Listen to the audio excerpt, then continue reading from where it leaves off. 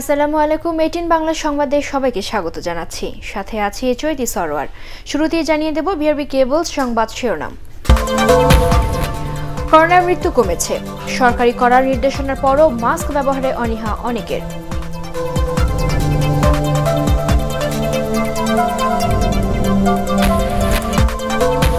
সাগরে গভীর নিম্নচাপের প্রভাবে দেশ জুড়ে দুর্যোগপূর্ণ আবহাওয়া। তিন নম্বর সতর্ক সংকেত উপকূলে।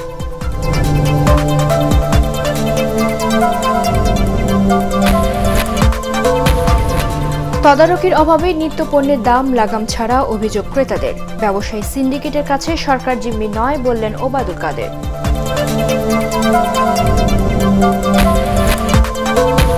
এবং মণ্ডপে মণ্ডপে মহাসমাপ্তির সীমিত আয়োজন।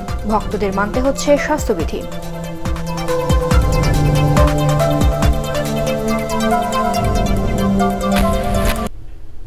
শুনছিলেন বিআরবি কেবল সংবাদ শিরোনাম। এবারে পুরো খবর। দেশে করোনার মৃত্যু হার কমতির দিকে। সবশেষ চব্বিশ ঘন্টায় এ ভাইরাসে আক্রান্ত হয়ে চোদ্দ জনের মৃত্যু হয়েছে, যা গত কয়েক দিনের মধ্যে সবচেয়ে কম। এই নিয়ে মৃতের সংখ্যা বেড়ে দাঁড়াল পাঁচ হাজার সাতশো একষট্টি। এ সময় চোদ্দ হাজার একশো উনিশটি নমুনা পরীক্ষা করে নতুন শনাক্ত হয়েছেন এক হাজার পাঁচশো ছিয়াশি জন। এ নিয়ে দেশে মোট শনাক্তের সংখ্যা দাঁড়াল তিন লাখ ছিয়ানব্বই হাজার চারশো তেরো জন। চব্বিশ ঘন্টায় শনাক্ত বিবেচনায় আক্রান্তের হার এগারো দশমিক দুই তিন শতাংশ। একদিনে নতুন সুস্থ হয়েছেন এক হাজার পাঁচশো তেত্রিশ জন। মোট সুস্থ তিন লাখ বারো হাজার পঁয়ষট্টি জন। সুস্থতার হার আটাত্তর দশমিক সাত দুই শতাংশ। চব্বিশ ঘন্টায় মৃতদের মধ্যে তেরো জন পুরুষ ও একজন নারী। এর মধ্যে ঢাকা বিভাগে বারো এবং রাজশাহী বিভাগে দুইজন মারা গেছেন।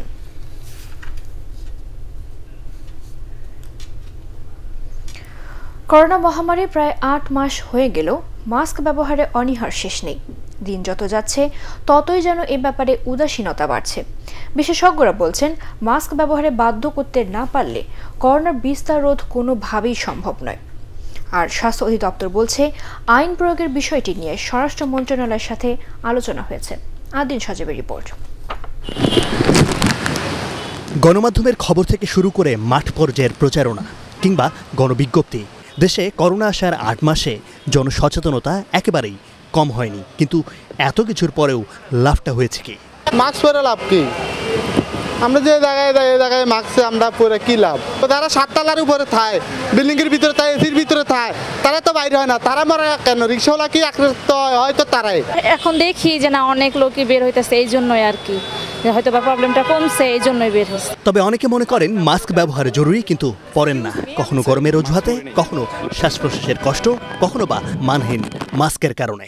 পরা কি জরুরি মনে করেন আসলে? অবশ্যই। কেন জরুরি মনে করেন?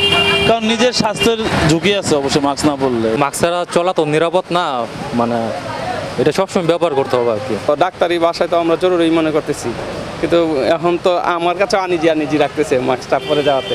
অথচ বিশ্বের যেসব দেশে সংক্রমণ বেশি তার মধ্যে অন্যতম বাংলাদেশ। দেশে করোনার দ্বিতীয় ঢেউ মোকাবেলায় কদিন আগে আবারও সবাইকে মাস্ক ব্যবহারের নির্দেশ দিয়েছেন প্রধানমন্ত্রী শেখ হাসিনা। মসজিদ মন্দির কিংবা অন্য কোনো উপাসনালয়। সবখানেই মাস্ক ব্যবহারের কথা বলা হলেও বাস্তবতা ভিন্ন। সবাই মাস্কের অবজন বলে কিন্তু ওই যে বৃষ্টির কারণে আসলাম। মাস্ক পরা বাধ্যতামূলক রাষ্ট্রীয় এই নির্দেশ এখন কারোরই অজানা নয়। কর্তৃপক্ষের দাবি মাস্ক পরাতে অভিযান চলছে চলছে মোবাইল কোর্ট। তাহলে প্রশ্ন হলো মৃত্যু ঝুঁকি থাকার পরেও কেন মানুষের মধ্যে এত অনীহা মাস্ক ব্যবহার করতে? বিশেষজ্ঞরা মনে করেন এতদিনেও যখন সচেতন হয়নি মানুষ তখন বাধ্য করার বিকল্প নেই। আমরা যতই বলি জনগণকে সচেতন করেই শুধু মাস্ক পরানো সম্ভব নয় এটার জন্য এনফোর্সমেন্ট দরকার। ওই এনফোর্সমেন্টটা সারা দুনিয়া জুড়ে হয়েছে আমাদের দেশে এটা হয়নি। আমার দেশের লোকেরাই সব এরকম কি করবেন বলেন না? আপনি? এখন মানে আইন করে যদি কিছু করা যায় এছাড়া তো আর করার কোনো ইয়ে নেই আমরা তো চেষ্টা করছি। বলার অপেক্ষা রাখে না আইনের কঠোর প্রয়োগই এর বড় সমাধান হতে পারে। হাদ্দিন সজীব, এটিএন বাংলা, ঢাকা। বঙ্গোপসাগরে সৃষ্ট গভীর নিম্নচাপের প্রভাবে উপকূলীয় এলাকায় ঝড়ো হাওয়া সহ মাঝারি থেকে ভারী বৃষ্টিপাত অব্যাহত আছে। বন্ধ রয়েছে নৌ চলাচল। চট্টগ্রাম কক্সবাজার এবং মংলা উপকূলে তিন নম্বর স্থানীয় সতর্ক সংকেত দেখানো হয়েছে। দক্ষিণ অঞ্চলের জেলাগুলোতে পানি বেড়ে রাস্তাঘাট ও বসতবাড়ি তলিয়ে যাওয়ায় পানিবন্দী হয়ে পড়েছেন হাজারো মানুষ। প্রতিনিধিদের তথ্যচিত্রের ভিত্তিতে রিপোর্ট করছেন রোকসানা ইভা। বঙ্গোপসাগরে গভীর নিম্নচাপের প্রভাবে দেশের অনেক এলাকায় বৃষ্টিপাত অব্যাহত রয়েছে।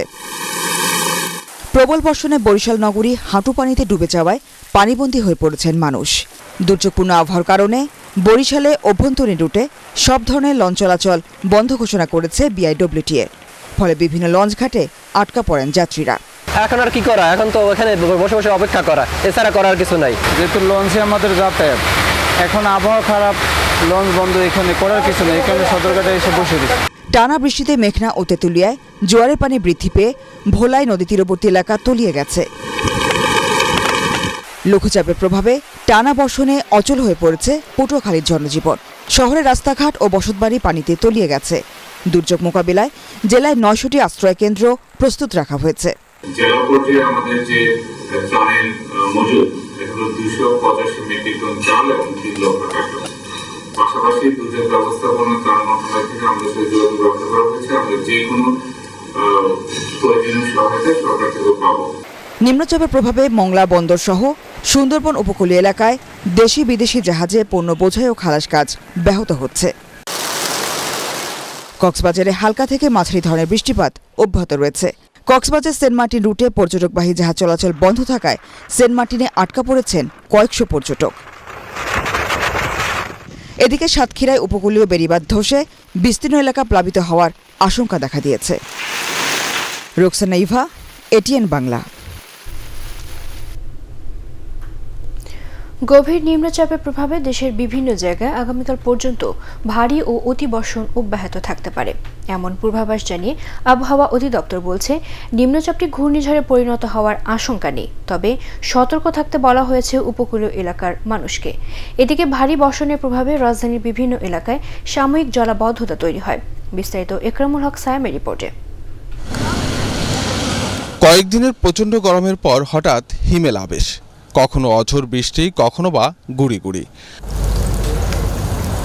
আকাশে মেঘের খেলা আর গুমট আবহাওয়ায় দেখা নেই সূর্যের। স্নিগ্ধ হেমন্তকালের এই প্রকৃতি রূপ বৈচিত্র্যে ভরা। হিমেলে আবহাওয়াকে শীতের আগমনী বার্তা বলা হলেও আবহাওয়াবিদরা বলছেন, তাপমাত্রার ওঠানামা চলবে আরও কিছুদিন। পনেরোই নভেম্বর পর্যন্ত তাপমাত্রার উঠানামা থাকবে।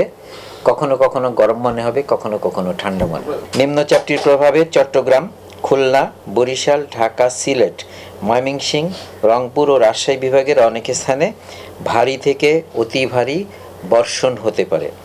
কোথাও কোথাও সাময়িক খুবই সাময়িকভাবে আহ, বজ্রপাতও হতে ভারী বৃষ্টিতে রাজধানীর কোথাও কোথাও কিছুটা জলাবদ্ধতা তৈরি হয়। তবে সাপ্তাহিক ছুটির দিনে ঠান্ডার আড়ষ্টতা কেটে বাসা থেকে খুব কম মানুষই বের হয়েছেন। ফলে নগর জীবনের প্রভাব দেখা গেছে কম। আবহাওয়া অধিদপ্তর বলছে নিম্নচাপের প্রভাবে জলোচ্ছ্বাস হতে পারে নিম্নাঞ্চলে। নিম্নাঞ্চলের অধিবাসীদেরকে তাদের নিজ নিজ গৃহে সতর্ক অবস্থায় থাকে থাকতে হবে। যে হঠাৎ করে বায়ুতাড়িত কোনো জলোচ্ছ্বাসের কারণে পানিতে প্লাবিত হয়ে যায় কিনা। এখন যে নিম্নচাপটি হয়েছে, এটি ঘূর্ণিঝড়ে শক্তিশালী হয়ে ঘূর্ণিঝড়ে পরিণত হওয়ার আর কোনো সম্ভাবনা নেই। রোববার থেকে আবহাওয়া স্বাভাবিক অবস্থায় ফিরলেও আগামী মাস পর্যন্ত নিম্নচাপের আশঙ্কা রয়েছে বলে জানিয়েছেন আবহাওয়াবিদরা। ইকরামুল হক সাইম এটিএন বাংলা, ঢাকা। বাস্তুচ্যুত রোহিঙ্গাদের সেদেশে ফেরত নেওয়ার ব্যাপারে চীনকে আশ্বস্ত করেছে মিয়ানমার। পররাষ্ট্রমন্ত্রী ডক্টর এ কে আব্দুল মুমিনকে টেলিফোনে একথা জানিয়েছেন চীনা পররাষ্ট্রমন্ত্রী ওয়াং ই। মিয়ানমারের জাতীয় নির্বাচনের পর প্রথমে রাষ্ট্রদূত পর্যায়ে এবং পরে মন্ত্রী পর্যায়ে ত্রিদেশীয় বৈঠকের উদ্যোগ নেওয়া হবে বলেও জানান চীনা পররাষ্ট্রমন্ত্রী। প্রতিশ্রুতি দেন করোনা ভাইরাস প্রতিরোধে চীনের টিকা অগ্রাধিকার ভিত্তিতে পাবে বাংলাদেশ। এ সময় পিরোজপুরে চীনা নাগরিক নিহতের ঘটনায় দ্রুত বিচার এবং সে দেশের নাগরিকদের নিরাপত্তার আশ্বাস দেন ডক্টর মোমেন। করোনা পরবর্তী সময়ে অর্থনীতি পুনরুদ্ধারে দু দেশ একসাথে কাজ করতে আগ্রহী বলেও জানান ওয়াং ই।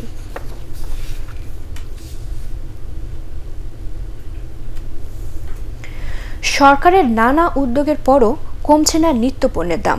দু দফায় দাম বেঁধে দেওয়ার পরও খুচরা বাজারে আলুর কেজি অন্তত পঁয়তাল্লিশ টাকা। সরবরাহ কম থাকার অজুহাতে কাঁচামরিচ পেঁয়াজ, আদা আর সব ধরনের সবজির মূল্য চড়া। সরকারের সঠিক তদারকির অভাবেই নিত্যপণ্যের দাম লাগাম ছাড়া বলে অভিযোগ করেছেন ক্রেতারা।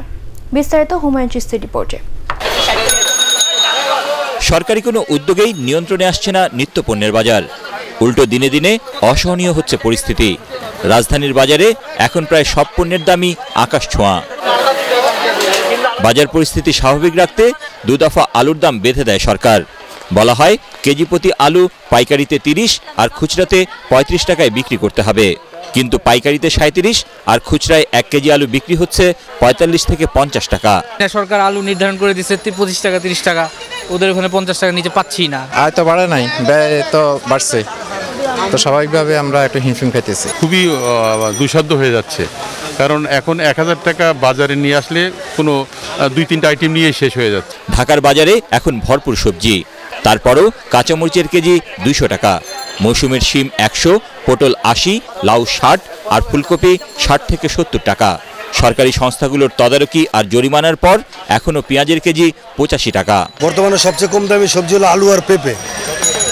আলু পাঁচচল্লিশ টাকা আর পেঁপে হলো পঞ্চাশ টাকা। সরকার চাইলে সব সম্ভব। সরকারের অসাধ্য কিছুই নেই বাট সরকার করবে না। বলে আমি কিন্তু কোনো সরকারের তদারকি কোনো অবস্থান দেখি না। মাঝে মাঝে একটা ঝটিকে একটা আসে এটা আপনার যেখানে যারা আছে খুচরা ব্যবসায়ী ওরা এটা বুঝে।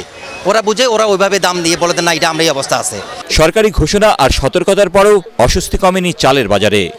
গত দুই সপ্তাহে আর না বাড়লেও দাম এখনও চড়া। মোটা গুটি স্বর্ণ চুয়াল্লিশ টাকা আটাশ পঞ্চাশ টাকা আর মিনিকেট বিক্রি হচ্ছে ষাট টাকা কেজি। অনেক কাস্টমার খায় তো মিনিকেট এখন তারা আঠাশ সেল খাচ্ছে। কারণ পঞ্চাশ টাকার নিচে আঠাশ নাই। কারণ আমরা আঠাশ চাউল বত্রিশ তেত্রিশ টাকা পঁয়ত্রিশ টাকা বিক্রি করতাম কেজিতে দুই টাকা তিন টাকাও লাভ করছি। আর এখন পঞ্চাশ টাকা বিক্রি জানেন এক টাকা লাভ হয়। তবে বিক্রেতারা বলছেন আগামী মাসে নতুন চাল ও সবজি বাজারে আসলে দাম কিছুটা কমবে। হুমায়ুন চিস্তি এটিএন বাংলা ঢাকা। দ্রব্যমূল্যের ঊর্ধ্বগতির সাথে জড়িত ব্যবসায়ী সিন্ডিকেটের কাছে সরকার জিম্মি নয় বলে দাবি করেছেন আওয়ামী লীগ সাধারণ সম্পাদক ওবায়দুল কাদের। দলীয় সভাপতির ধানমন্ডি কার্যালয়ে ঢাকা মহানগর উত্তর ও দক্ষিণ আওয়ামী লীগ নেতাদের সাথে বৈঠক শেষে তিনি এই দাবি করেন। বর্ষা ও বন্যার কারণে সারা দেশে খাদ্য উৎপাদন বাধার মুখে পড়ায় দ্রব্যমূল্যের এই ঊর্ধ্বগতি বলেও মনে করেন ওবায়দুল কাদের। ভারত সহ অন্যান্য দেশের সাথে আমদানি রফতানি স্বাভাবিক হলে দ্রব্যমূল্য নিয়ে আর কোনো অভিযোগ থাকবে না বলেও দাবি করেন সেতুমন্ত্রী। সিন্ডিকেটের কাছে হেরে যাওয়া, এটা কথা ঠিক নয় আপনি প্রতিবেশী সব দেশের দিকে তাকান। এই করোনা পরিস্থিতিতে বাজার মূল্য কোথাও আমদানি, রপ্তানিতে আগের পর্যায়ে কেউ নেই। অন্যান্য জিনিসপত্রের দাম, এগুলো উঠানামা করবে। এখন বর্ষা আপনাদের মনে রাখতে হবে, এ সময়ে একটু দ্রব্যমূল্য বাড়ে, আবার এগুলো ঠিক হয়ে আসবে। খাদ্যদ্রব্যের অবৈধ মজুদ ঠেকাতে কঠোর আইন করার উদ্যোগ নিয়েছে সরকার। পাশাপাশি ফুড অ্যাক্টেও পরিবর্তন আনা হচ্ছে। খাদ্য সচিব ডক্টর আরা খানম, এটিএন বাংলাকে জানান, অপরাধের ধরন পাল্টানোর কারণে আইন পরিবর্তনের উদ্যোগ নেওয়া হয়েছে। বিস্তারিত জানাচ্ছেন শফিকুল ইসলাম শামীম। বিভিন্ন সময়ে দেশে চাল, পেঁয়াজ, আলু, তেল সহ নিত্য প্রয়োজনীয় খাদ্যপণ্যের অবৈধ মজুতের মাধ্যমে দাম বাড়িয়ে দেয় এক শ্রেণির অসাধু ব্যবসায়ী। এতে বিব্রতকর পরিস্থিতিতে পড়ে সরকার। এই অপচেষ্টা বন্ধে এবার কঠোর আইন করতে যাচ্ছে খাদ্য মন্ত্রণালয়। খাদ্য সচিব জানান, নতুন আইনে শাস্তি বাড়বে। বিভিন্ন মন্ত্রণালয়ে এটা আমরা মতামতের জন্য পাঠিয়েছি। ইতিমধ্যে আমরা আমাদের মাননীয় মন্ত্রী মহোদয়ের সভাপতিত্বে একটা আন্তমন্ত্রণালয় মিটিং করেছি। রিলেভেন্ট মিনিস্ট্রির মেম্বাররা ছিলেন। তো সেখান থেকে কিছু মতামত আমরা পেয়েছি এবং আমরা ওয়েবসাইটের যদি কিছু মতামত পাই, সিভিল সোসাইটির, সবগুলো একত্রীকরণ করে আমরা এটাকে ফাইনালি মানে ড্রাফট করব। উনিশশো সালের ফুড স্পেশাল কোর্ট অ্যাক্টও যুগোপযোগী করার কাজ চলছে বলে জানান খাদ্য সচিব। তিনি জানান খাদ্যদ্রব্যের উৎপাদন মজুত স্থানান্তর পরিবহন সরবরাহ বিতরণ ও বিপণন আইনে উল্লেখ করা অপরাধগুলোর বিচার হবে স্পেশাল কোর্ট অ্যাক্টের আওতায়। নতুনভাবে বাংলা ভাষায় যুগোপযোগী এবং হালনাগাদ করে প্রণয়নের জন্য একটা নির্দেশনা আছে।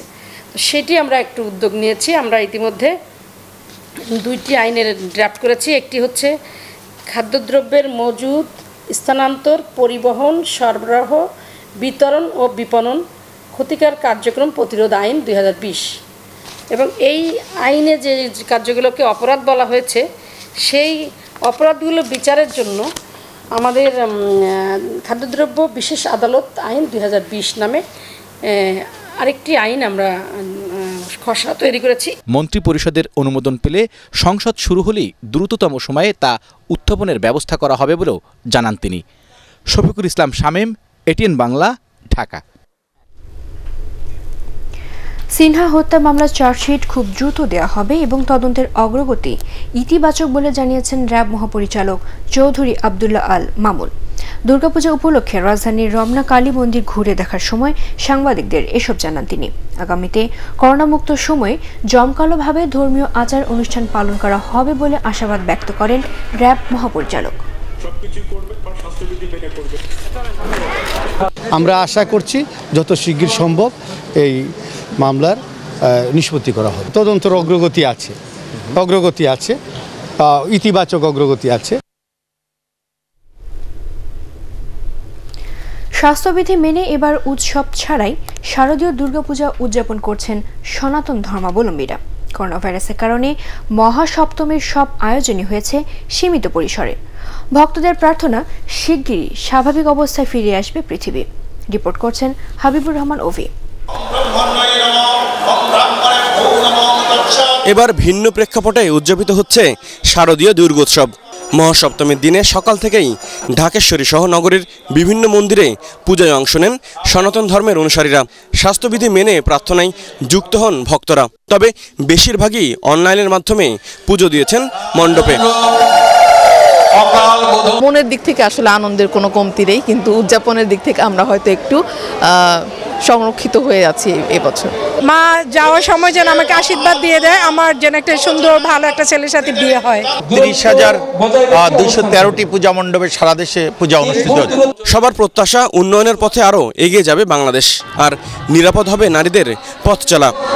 মার কাছে এটাই প্রার্থনা নারী নির্যাতন ওটা যেন একদম বন্ধ হয়ে যায়। প্রত্যেকটা নারী যেন স্বাধীনভাবে চলাফেরা করতে পারে।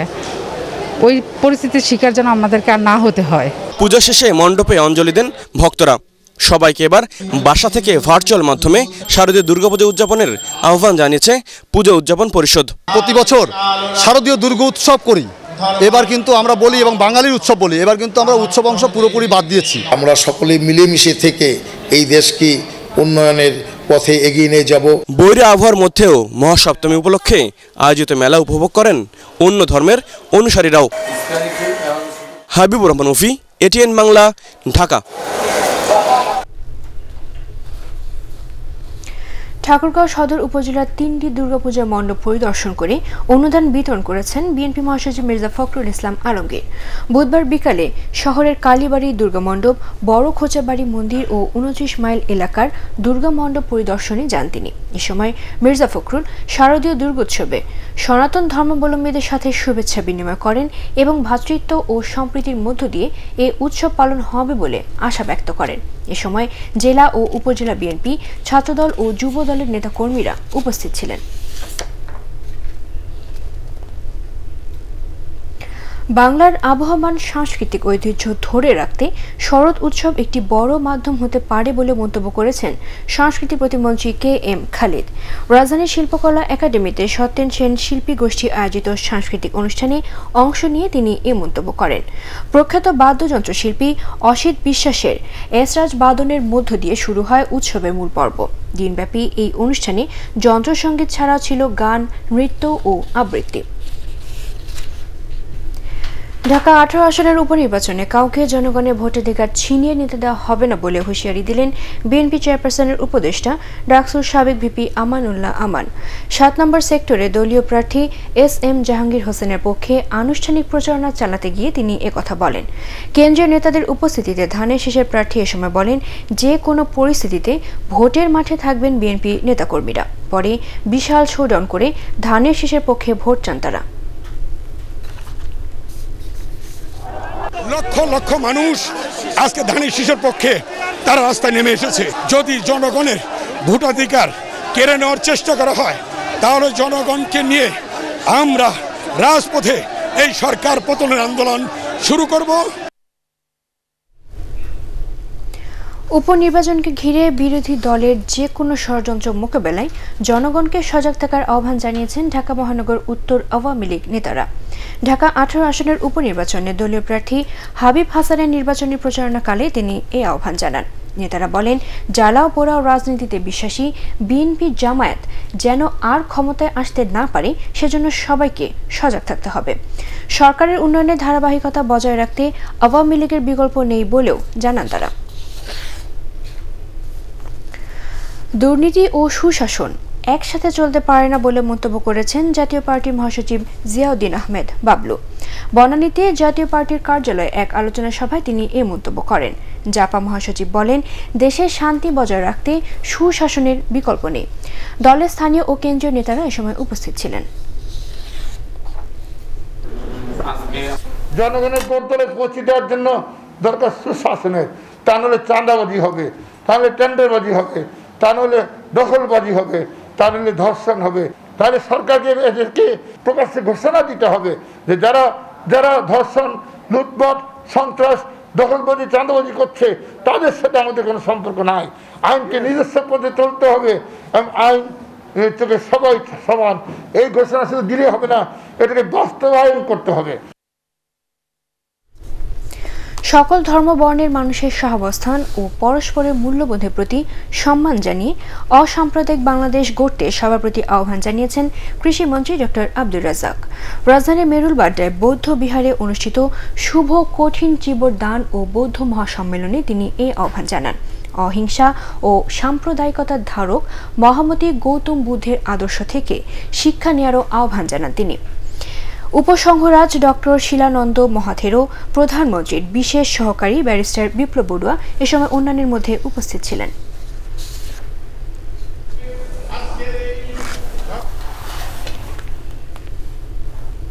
এবারে আলারাফা ইসলামী ব্যাংক অর্থ সংবাদ।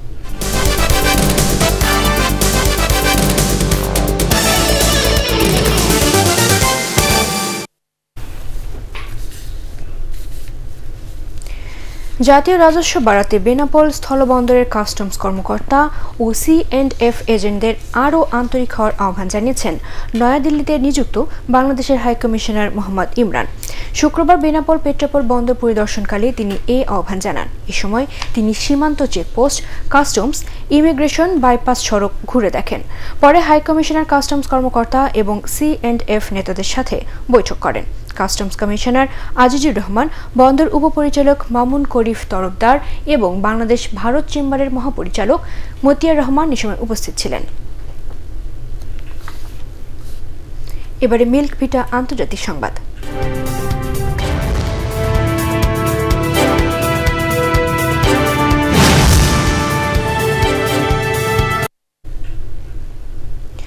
ফ্রান্সে একদিনে একচল্লিশ হাজার ছশোরও বেশি মানুষ করোনায় আক্রান্ত হয়েছে।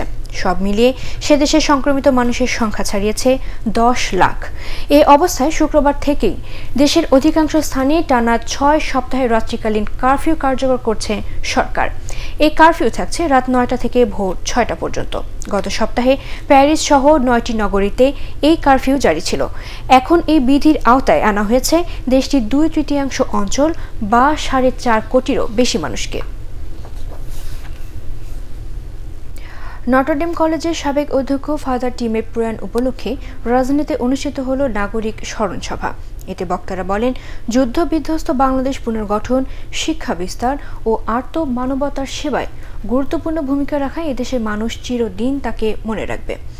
সংসদ সদস্য আরমা দত্ত, মানবাধিকার নেত্রী খুশি কবির ও নটরডেম কলেজের অধ্যক্ষ ডক্টর প্যাট্রিক গফনি এবং কারিতাস বাংলাদেশের আধ্যাত্মিক উপদেষ্টা ডক্টর হিউবার্ট লিটন গোমেজ এতে বক্তব্য রাখেন।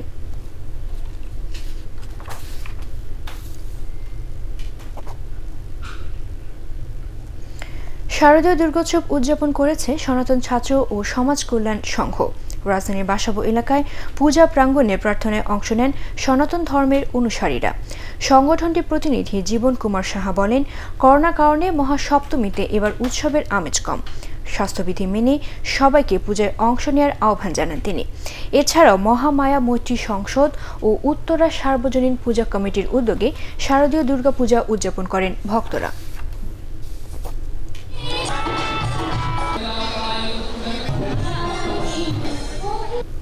এবারে পার্টেক্স খেলার খবর।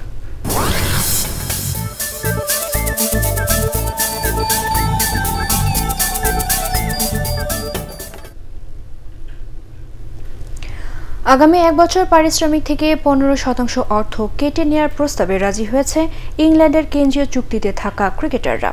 করোনা মহামারীর কারণে বোর্ডের আর্থিক ক্ষতি কমাতে এ প্রস্তাবে সায় দিয়েছেন মর্গান রুট বাটলাররা।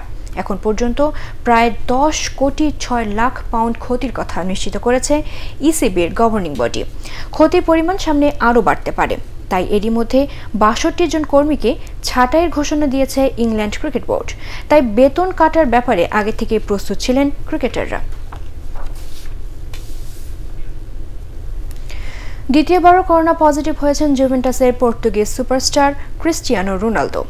প্রথমবার এ ভাইরাসে আক্রান্তের এগারো দিন পর বাইশ অক্টোবর দ্বিতীয় কোভিড টেস্ট করা হয় সিআর সেভেনের স্প্যানিশ সংবাদ মাধ্যম জানায়, দ্বিতীয় পরীক্ষাতেও পাঁচবারের ব্যালন ডিওর জয়ী ফুটবলারের শরীরে এ ভাইরাসের অস্তিত্ব ধরা পড়ে।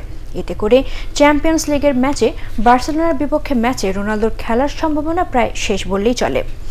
বুধবার এল ক্লাসিকোতে মুখোমুখি হবে দুই দল, বর্তমানে ইতালিতে আইসোলেশনে রয়েছেন তিনি। শেষ করার আগে বিআরবি কেবল সংবাদ শিরোনাম আরেকবার। করোনার মৃত্যু কমেছে, সরকারি করা নির্দেশনার পরও মাস্ক ব্যবহারে অনীহা অনেকের।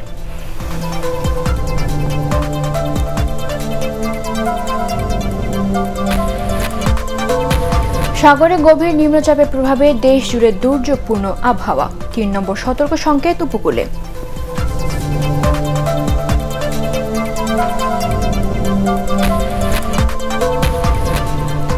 তদারকির অভাবে নিত্যপণ্যের দাম লাগাম ছাড়া অভিযোগ ক্রেতাদের। ব্যবসায়ী সিন্ডিকেটের কাছে সরকার জিম্মি নয় বললেন ওবায়দুল কাদের।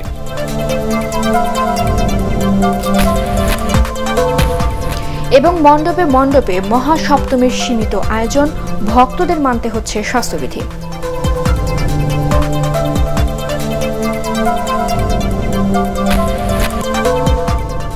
পরবর্তী সংবাদ দেখার আমন্ত্রণ জানিয়ে এখনকার মতো শেষ করছি।